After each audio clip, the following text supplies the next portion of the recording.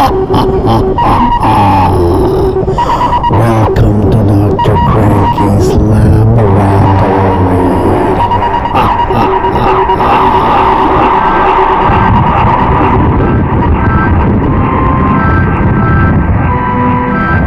Hey everybody, Dr. Cranky here in the laboratory uh, with an update on the Prince base.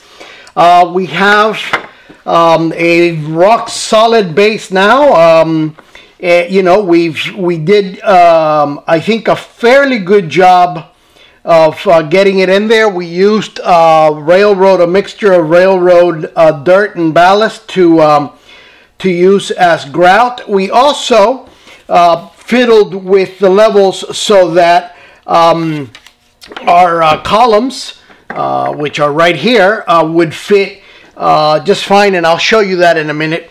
Uh, but uh, speaking of the columns, we finished them on top and on the bottom. We also nicked uh, the edges along the way so that um, you know it looked like um, things over over the ages have uh, carved on them and um, and bumped uh, against the edges and and broken them here and there.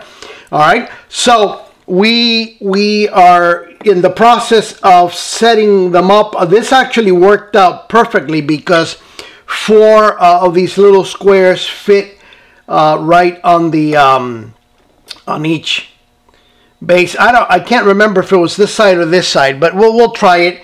And uh, what happened here was we started to uh, lay them down uh, like this, and um, you know it looked really uniform and um, it, which is fine. But we thought, you know what? Uh, we are going to get rid of one of these, move it to the side, and then what we are going to do is we're going to break uh, one of them uh, completely and uh, put it on here just for a little uh, variety sake. And then here's the last one and it goes right there. A little bit uneven, but that's okay. It's been, you know, this monument has been there for a long time. Uh, then this is the top that we broke off, and what we are going to do is we're going to display that one uh, right there. The vehicle will fit in the center. Then we have these uh, little posts. Uh, which might um, do the trick, and we are just going to uh, drill holes all around you know, so that we can set up our chain. Um, then we're, you know, we have a few other ideas on how we're going to display the model. Uh, but it's coming along really nice and we're very excited. So we do hope uh, you stay tuned in for more progress on the uh, on your highness base as we call it.